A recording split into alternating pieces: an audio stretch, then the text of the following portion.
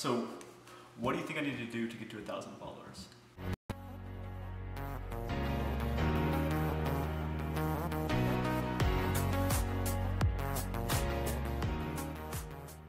Spray stuff.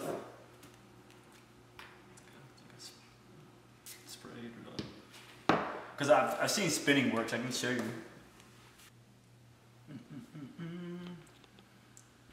I could do like a, um, well, Big Bear Business doesn't do any spins, and he has like he has a lot of followers.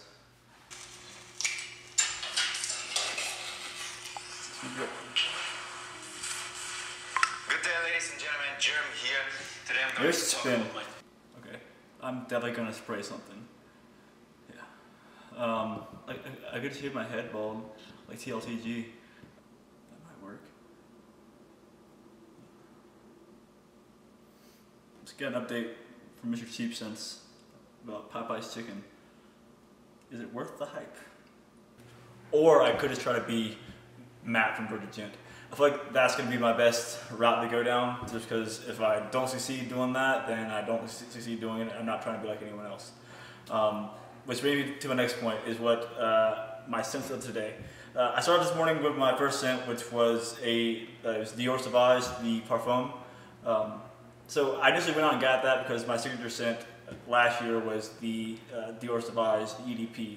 So I was super super excited about having that and giving that a run. But guys, I lost my decant, so I don't have it here in front of me, and I'm kind of okay with that because it kind of sucks.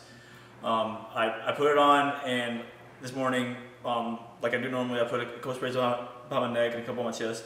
And um, when I was at work, I kept trying to feel the same vibe that I got from from, from, from the uh, the the uh, EDT or ADP, excuse me.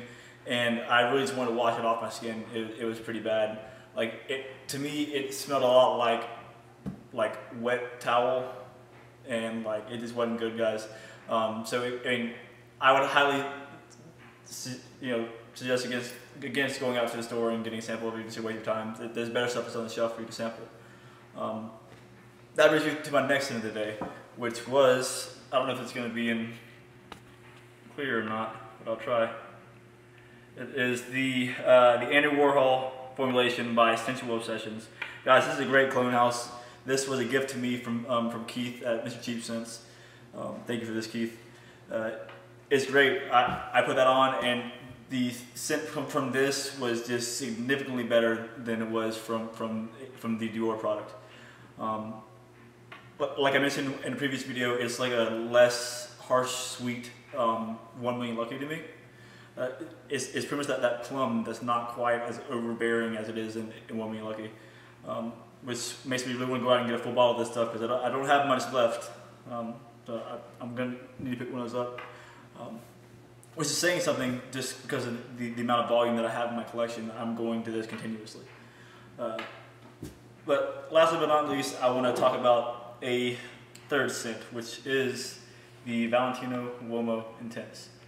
Um, so I've been seeing online that some people are saying that this is uh, discontinued, um, which is interesting to me because it's a great fragrance and a lot of people have it in their collections. Um, I think it's great. It's, it's a great winter scent. Uh, really, the whole line is, it, it, is, is, is nice. Um, I'm, I'm just not a big fan of the original Uomo just because it's kind of feminine, in my opinion. Um, the Aqua, uh, which you guys have seen, I'm a big fan of. Uh, it, I see it as a great office and work scent. And this one is going to be a great uh, winter scent. This is great for date night. This is great for kind of going out and, and, and just doing stuff.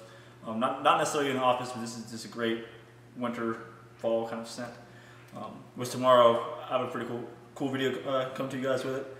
But guys, that's that. I um, hopefully at the end of this video or tomorrow I'll be at 400 subs. I just want to say thank you all for, for coming and checking out these videos, um, for leaving likes and comments and, and, and everything.